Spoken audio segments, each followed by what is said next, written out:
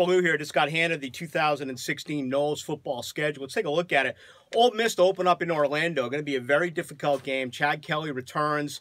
Noles traditionally over the years struggle early. Huh, not an easy layup there. Could really be out of the gate uh, an opportunity to lose that game. We'll see how they come out and play. Then home with Charlie South. Go to Louisville in week three. They return 19 starters this year. Bobby Petrino got off to a bad start last year. They lost three early games came back and played some pretty good football. Go to Tampa to play South Florida in week four. So three of the first four on the road. Here comes UNC, that explosive offense.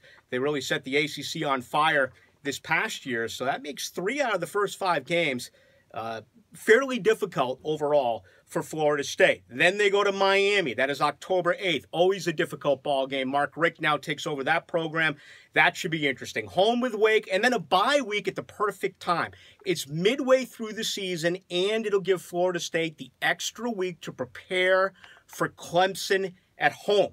There hasn't been a lot of times as of late where the Noles have gotten the luxury of an extra week before a big opponent. They do this year. That'll be followed up by the ultimate trap game. That's NC State a week later. Yet again, year two of a Friday night football game. This year it will be Boston College and Tallahassee, a trip to the Carrier Dome a week later. Then they wrap up the year on November 26th against the Florida Gators. Overall, difficult early on, midway through, a nice bye before the Clemson game. Then some fairly difficult games late in the season, including the Florida Gators. Two real difficult non conference opponents in both Ole Miss and Florida. The ACC got better this year. Going to be a real interesting schedule for Florida State, where I believe it's a national championship or bust type of season.